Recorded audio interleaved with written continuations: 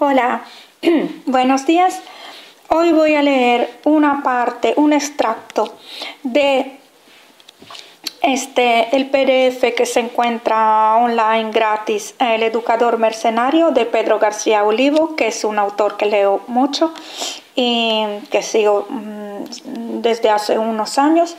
Y mm, este, mm, primero voy a explicar un poco eh, qué tiene que ver, en mi opinión, em, que, este extracto que voy a leer eh, se, se agregue aquí a la página de Facebook eh, de mi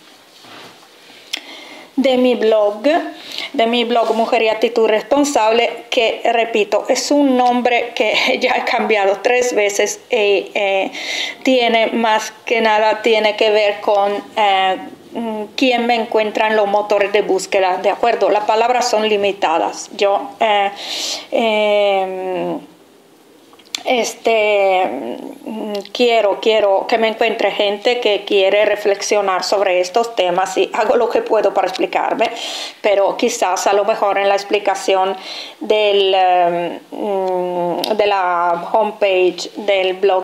Eh, se entiende mejor que en el título mismo, ¿no? Lo que quiero decir. Ok.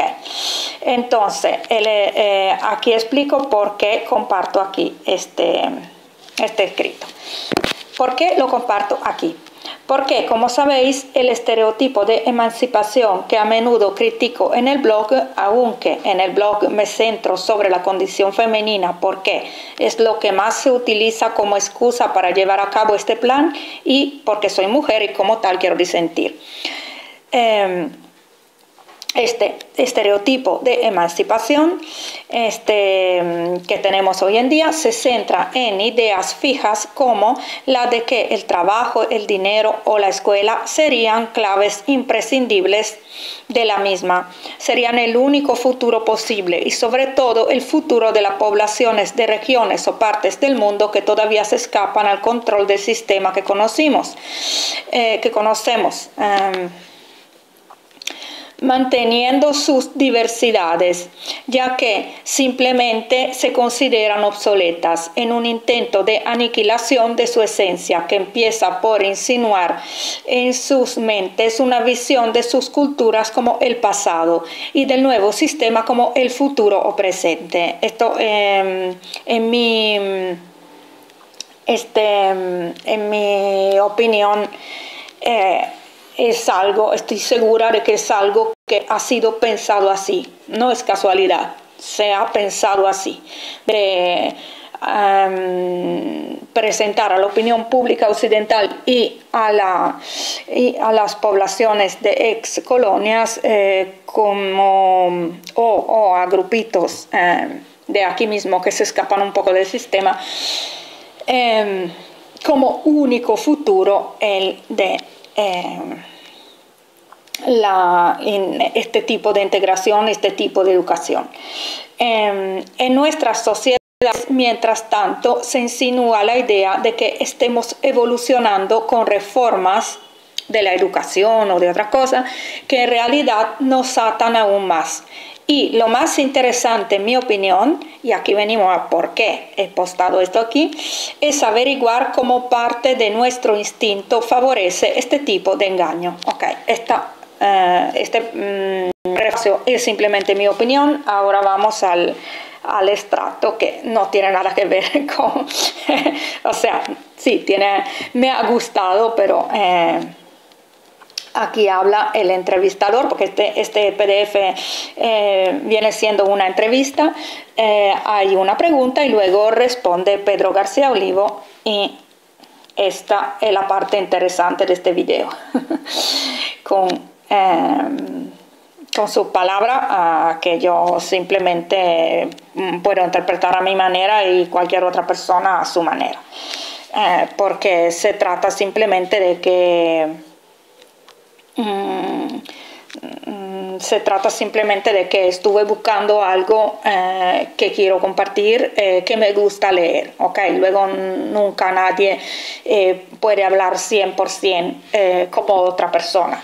eh, somos todos diferentes y esto es lo bonito, hasta que, hasta que podemos conservar las diferencias. Ok, pregunta. El alumnado padece los efectos del autoritarismo escolar, de la familia opresiva, del trabajo alienante, etc. Y no siempre reacciona ante ello. Se debe tal vez a una autocoerción, como a veces sugiere su texto.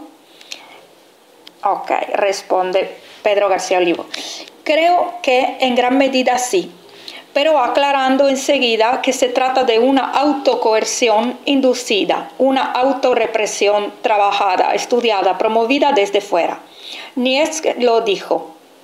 El estudiante es una víctima culpable. Existen hoy por hoy la autocoacción y la coacción externa, la autodomesticación y las estrategias exteriores de sujetación siempre alimentándose unas de otras, sosteniéndose mutuamente. Consentimos el horror de lo de afuera por la fortaleza de las mordazas interiores, de las autovigilancias personales y al mismo tiempo esa inquietud de lo real, esa infamia de lo existente, eh, surte sin cesar argumentos, razones y expedientes y procedimientos y tecnologías para que nos apliquemos en la docilidad y en la autocoerción. Pero a largo plazo, estimo que en efecto lo decisivo va a ser la solidez del aparato de autorrepresión, la solvencia de los dispositivos de autocontrol. En mi opinión, nos hallamos en los albores de la postdemocracia, una formación político-social que habrá hecho de cada hombre un policía de sí mismo y que como complemento habrá reducido espectacularmente todo el aparato de represión física estatal, policías, agentes, etc. Eh, Avanzamos hasta la sub, subrepción, invisibilización, ocultamiento de todas las tecnologías de poder y de dominio con una apuesta decidida por los mecanismos de control psíquico simbólico y un paulatino desechamiento de recurso a la fuerza, a la violencia explícita, el policía de sí mismo ya aparece por algunas de nuestras aulas, en las escuelas alternativas, por ejemplo, bajo la forma de ese estudiante participativo activo que interviene en la gestión de los centros, en la confesión de los temarios, en la dinámica de las clases, etc. Y que, tentando la autocalificación, autocalificación, a un paso estará de suspenderse a sí mismo, sin remordimientos. Con estudiantes así ya casi no hacen falta los profesores.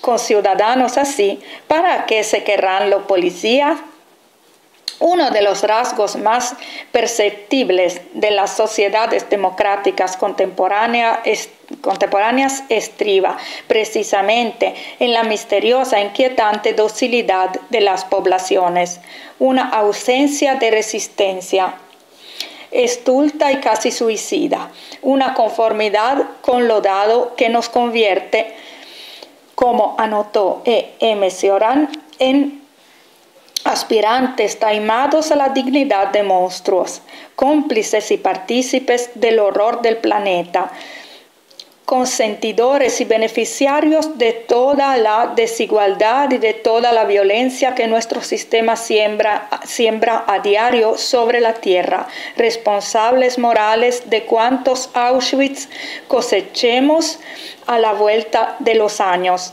Esta docilidad misteriosa y potencialmente homicida que nos erige en monstruos vive hermanada, por así decirlo, a aquella autocoerción que señalabas en tu pregunta. Ok, ahora voy a poner el enlace abajo al PDF o a la página de Em, del autor que comparte gratuitamente todos sus escritos y para que podáis descargarla si queréis y voy a preparar algo que leer mañana. Chao.